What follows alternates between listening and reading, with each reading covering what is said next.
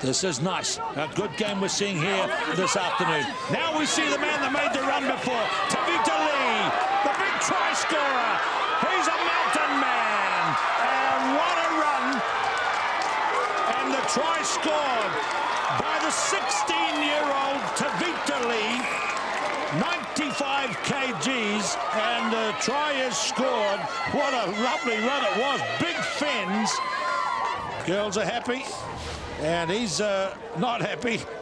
Might have a little bit of a cramp problem there, but a lovely taken try by left winger Tevita Li. Tevita Li here, absolutely outstanding. Watch this. One, two, and number three's coming up. He has got a very powerful right arm fend. He just slightly steps away from them as he goes past them and fends them. Great fending technique and a brilliant individual try. That's 14 tries for the season for this man. And you can see why, carrying the ball in the left, using that right to fend, using his stepping power as well. He's a big man, and for 16 years of age, well. Well, he's right down in front of us right at the moment. You can't see on the screen, but he is huge. And he's got great balance, very physical player.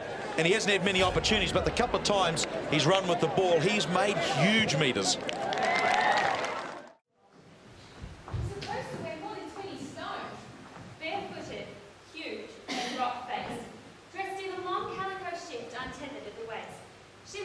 she were about to be baptized in some outlandish cult.